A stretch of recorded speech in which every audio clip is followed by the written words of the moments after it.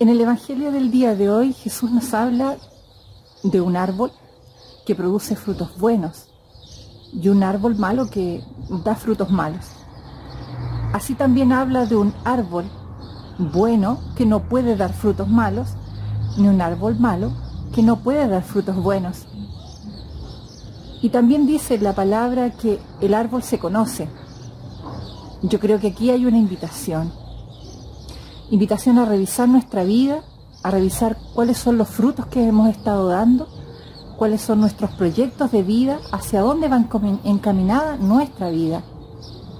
Porque también hace una comparación con un hombre que construye su casa sobre roca y un hombre que construye su casa sobre tierra.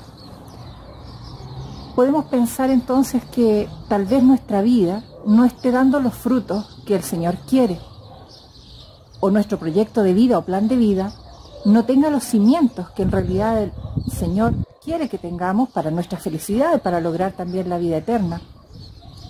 Por supuesto que la vida eterna es un regalo de la misericordia de Dios para nosotros, pero nosotros también tenemos que hacer nuestra parte. Tenemos que trabajar, tenemos que revisar hacia dónde va la vida, hacia dónde van nuestros frutos.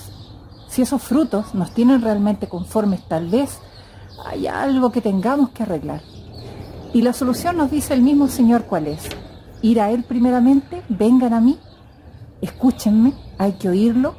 Y este mes tenemos la invitación del mes de la palabra o el mes de la Biblia. Por lo tanto, dediquémosle el tiempo suficiente para poder escuchar al Señor, para poner en práctica su palabra, para tener buenos frutos. El Señor ha hecho buenos árboles, ¿cierto?